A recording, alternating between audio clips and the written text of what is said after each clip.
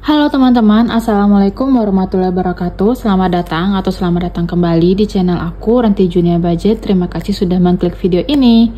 Oke teman-teman, seperti biasa di akhir atau di penghujung bulan Seperti biasa aku akan melakukan sinking funds update. Dan ini untuk sinking funds update di bulan Mei 2024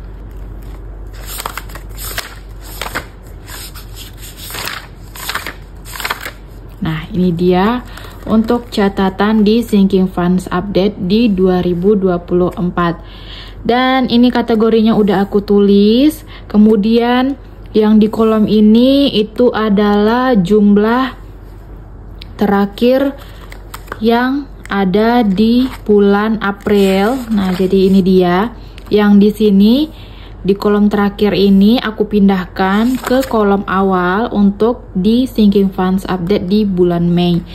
Dan langsung aja kita lihat dulu untuk di binder pertama untuk di binder Sinking Funds.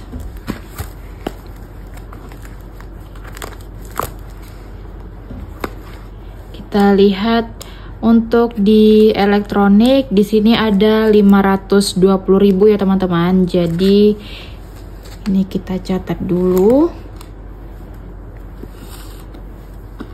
Kelihatan nggak? Untuk elektronik ada 520.000.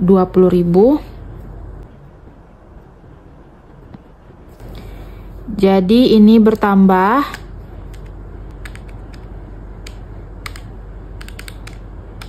So, bertambah 80.000. Untuk home decor di sini masih nol karena aku belum ada planning untuk buat sinking funds kategori home decor.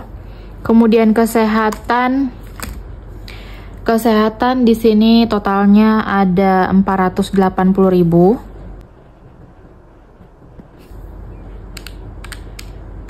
Jadi kita kurangin. Nah, jadi minus 244.000 seperti yang teman-teman ketahui kemarin anak aku sempat dirawat. Jadi aku pakai BPJS karena aku naik kelas, jadi aku ada bayar selisih ya teman-teman. Itu sekitar 300 ribuan dan dia dan di akhir ini jadinya minus 244.000. Next liburan Kemarin aku untuk di bulan April totalnya ada 318.000 dan untuk di akhir bulan Mei ini totalnya ada 275.000. Jadi kita kurangin lagi. Dan minus 43.000 karena kemarin aku eh, ke kampung ya, teman-teman.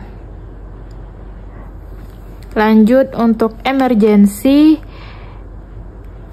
di awal bulan April aku nabung 960.000 dan di akhir bulan Mei ini total tabungan untuk emergensi itu sebesar 1.060.000. Jadi kita kurangi lagi.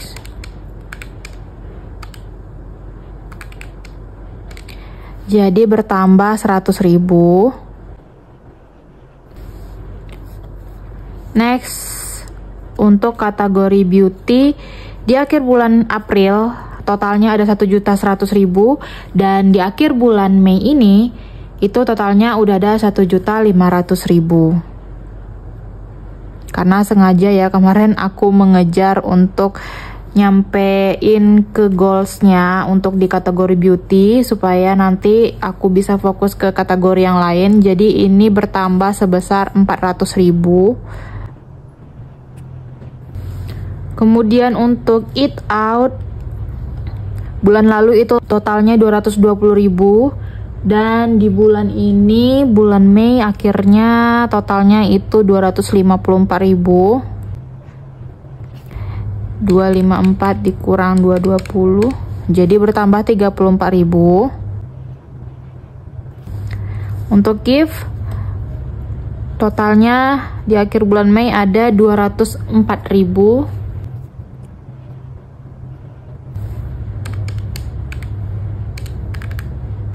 jadi bertambah 5000 keperluan anak di sini totalnya ada 964.000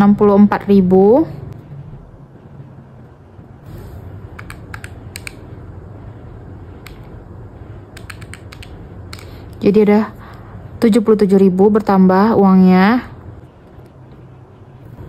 Utility totalnya ada 390.000.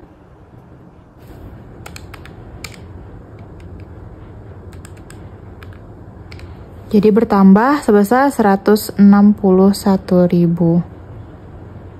Oke, itu dia untuk di binder sinking funds-nya. Sekarang kita ke binder savings atau tabungan.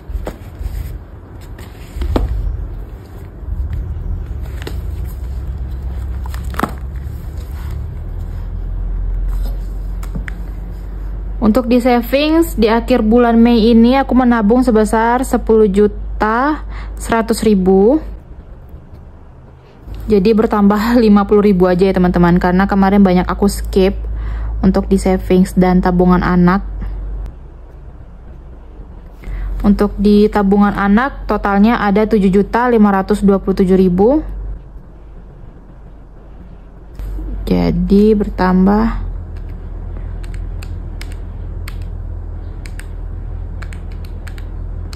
12.000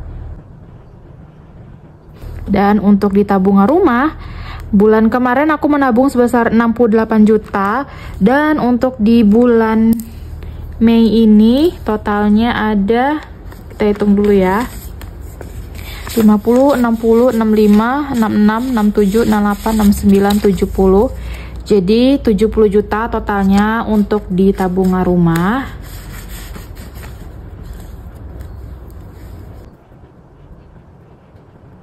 So bertambah sebanyak 2 juta. Dan untuk di tabungan emas di sini totalnya ada 772.000.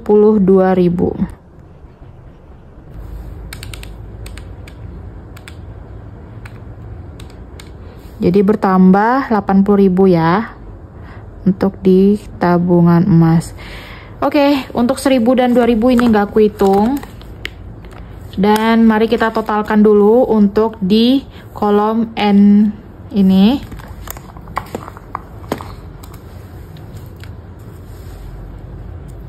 Videonya bakalan aku percepat ya.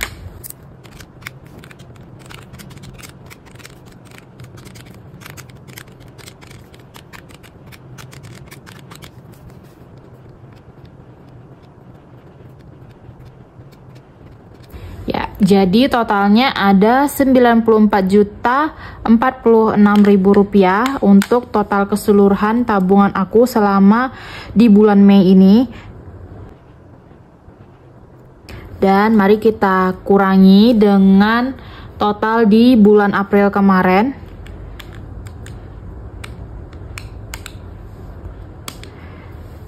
Dan jadi selama bulan Mei ini aku menambahkan uang aku untuk di sinking funds dan di savings itu sebesar 2.712.000.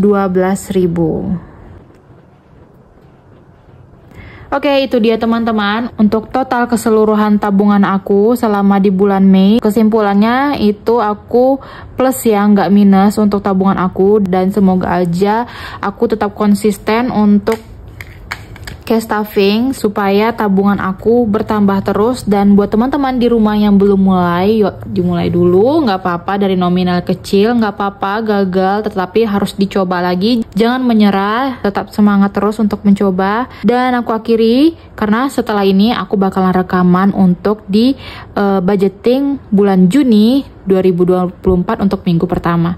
Oke, sekian dulu. Wassalamualaikum warahmatullahi wabarakatuh. Sampai jumpa lagi untuk video aku minggu berikutnya. Bye-bye.